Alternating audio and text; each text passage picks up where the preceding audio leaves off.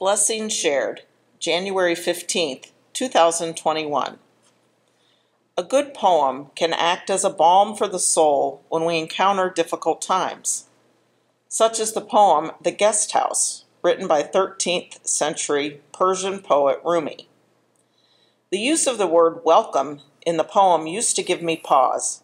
I'm not always inclined to welcome every experience and emotion that greets me in the new day. But author Anuba Kothari gives it a perspective that helps me. This poem is a reminder not to resist the thoughts and emotions passing through you, but to meet them with courage, warmth, and respect. Heartbreak is like a cleanse.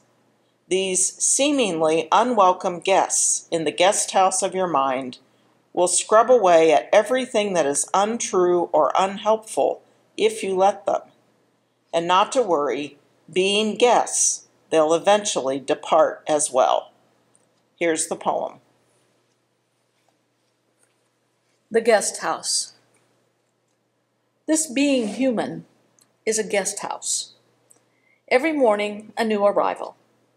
A joy, a depression, a meanness, some momentary awareness comes as an unexpected visitor.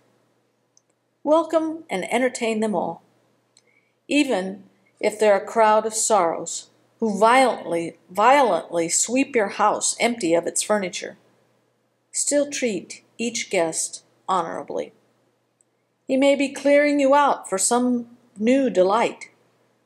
The dark thought, the shame, the malice. Meet them at the door laughing and invite them in.